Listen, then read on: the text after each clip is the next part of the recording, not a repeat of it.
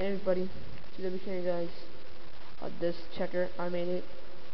So just go ahead and go to the description and get the, um, the script and yeah. So there's no hacks. It's not gonna delete any folders. It's not gonna do anything. It's only gonna check this. I'm gonna be proving and I'm gonna be using the file to prove that you got that's real file. Save as. I'm gonna even rename it. I'm gonna rename it desktop. You guys can see it on desktop. There's nothing right here. And now I'll put save. Now as you guys can see, it's stuck right here. If you wanna recheck if it's the description thingy, it's the same as this one, just go ahead and check. As you guys can see, this is the most important part of the thing.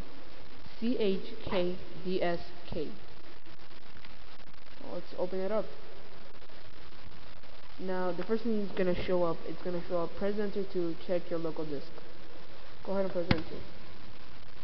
Now, that should say here, um, stage whatever and whatever.